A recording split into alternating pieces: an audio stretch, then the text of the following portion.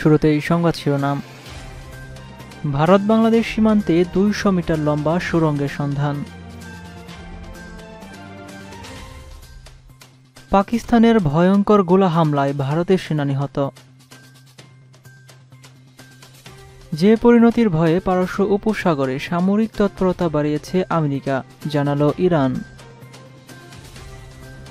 মধ্যপ্রাচ্যের যে কোনো মার্কিন ঘাঁটি আমাদের নাগালেই রয়েছে, হুঁশিয়ারি ইরানের। এবং সবশেষ থাকছে, মার্কিন ঝুঁকিপূর্ণ সামরিক তৎপরতার বিরুদ্ধে ইরানের হুঁশিয়ারি জাতিসংঘে চিঠি। এতক্ষণ শুনছিলেন সংবাদ শিরোনাম, এবার চলুন বিস্তারিত জানা যাক।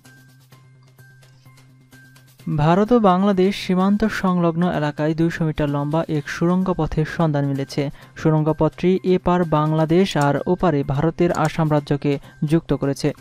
আসাম রাজ্যের করিমগঞ্জ জেলার বালিয়ায় এক অপহরণ কাণ্ডের তদন্তে নেমে রাজ্য পুলিশ সুড়ঙ্গ পথের সন্ধান পেয়েছে বলে আনন্দবাজার পত্রিকার একটি প্রতিবেদনে জানানো হয়।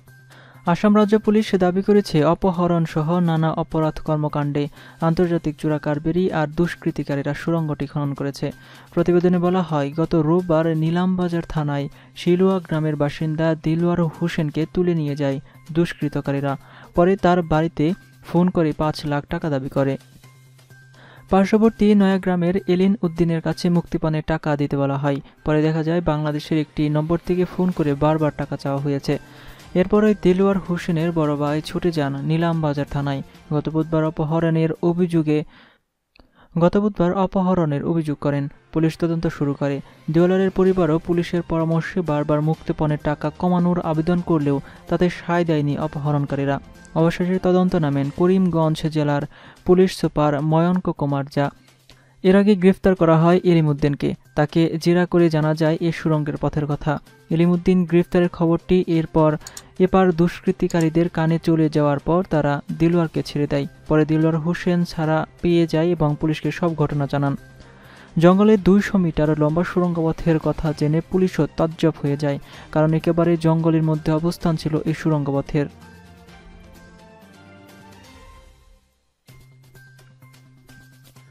পাকিস্তানি সেনাবাহিনীর গোলাবর্ষণ এবং গোলা হামলায় এক ভারতীয় সেনা নিহত হয়েছেন।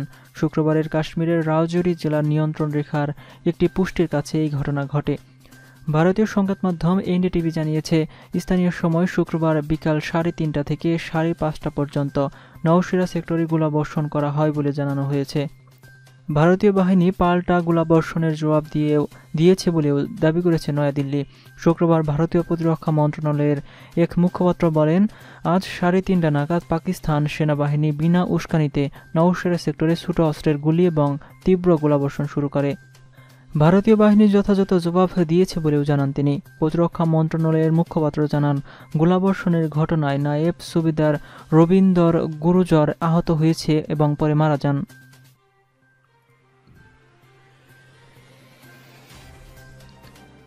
ইরানের ইসলামী বিপ্লবী গার্ড বাহিনীর প্রধান কমান্ডার মেজর জেনারেল হুসাইনি সালামি বলেছেন, জেনারেল সুলাইমানিকে হত্যা করে আমেরিকা যে ভুল করেছে তার পরিণতির ভয়ে ওয়াশিংটন গত কয়েকদিনে পারস্য উপসাগরে সামরিক তৎপরতা বৃদ্ধি করেছে।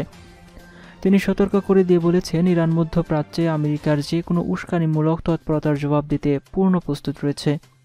জেনারেল সুলাইমানি নিহতের প্রথম বার্ষিক উপলক্ষে শুক্রবার তেহরানের একটি অনুষ্ঠানে আইআরজিসির প্রধান কমান্ডার বলেন, প্রতিরোধ আন্দোলনের এই বীর সেনানীর হত্যাকাণ্ডে বিশ্বের মুসলিম তরুণ সমাজের অন্তরে আমেরিকার প্রতি তীব্র ঘৃণা সৃষ্টি হয়েছে, আর তাদের সেই ঘৃণায় আমেরিকার জন্য চরম দুঃস্বপ্ন হয়ে দেখা দিয়েছে।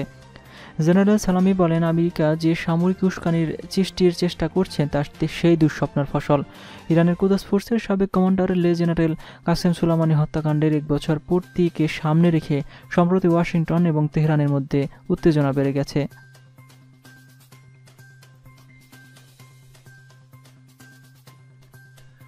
ইরান যুক্তরাষ্ট্রকে হুঁশিয়ারি করে বলেছে, মধ্যপ্রাচ্যের যে কোনো মার্কিন ঘাঁটি এখন আমাদের ক্ষেপণাস্ত্রের নাগালের মধ্যে।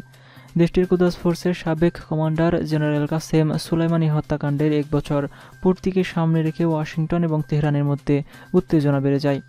গত বুধবার পরমাণু অস্ত্র বহনের সক্ষম দুটি মার্কিন বি ফিফটি টু বোমারো বিমান আমেরিকা থেকে আকাশে উড়ে মধ্যপ্রাচ্যের আকাশে টহল দিয়ে আবার আমেরিকায় ফিরে গেছে। ওয়াশিংটন ঘোষণা করেছে, ইরানকে সতর্ক করার জন্য এ পদক্ষেপ নেওয়া হয়েছে। এই ঘটনার প্রতিবাদে ইরানের সামরিক উপদেষ্টা ব্রিগেডিয়ার জেনারেল হুসাইম দেহকান গত বৃহস্পতিবার এক টুইট বার্তায় কথা বলেন। তিনি বলেন, মার্কিন কোনো হুমকি ধুমকি পরোয়া করে না ইরান। এই অঞ্চলে যে কোনো মার্কিন ঘাঁটি এখন আমাদের ক্ষেপণাস্ত্রের নাগালের মধ্যেই।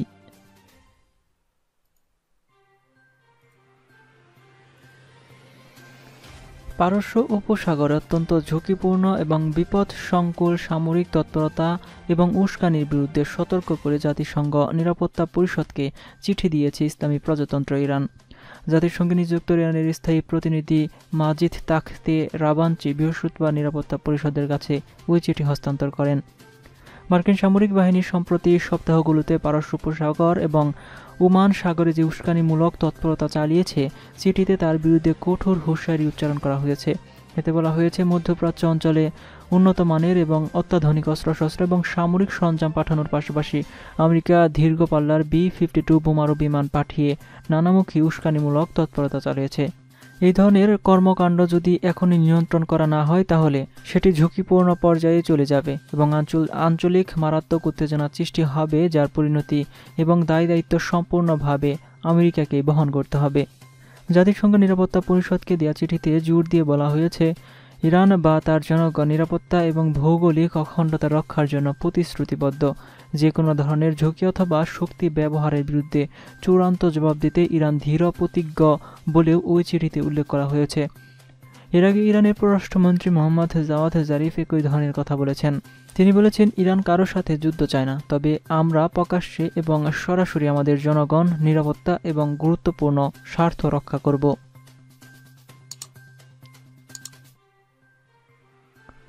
আজকের মতো এই পর্যন্তই ছিল। ভিডিওটি সম্পর্কে আপনাদের মতামত অবশ্যই কমেন্ট বক্সে কমেন্ট করে জানাবেন। বিশ্বের সর্বশেষ নিউজ সবার আগে দেখতে আমাদের চ্যানেলটি সাবস্ক্রাইব করে পাশে থাকা বেল আইকনটিতে ক্লিক করে রাখুন। এতক্ষণ সাথে থাকার জন্য ধন্যবাদ সবাইকে।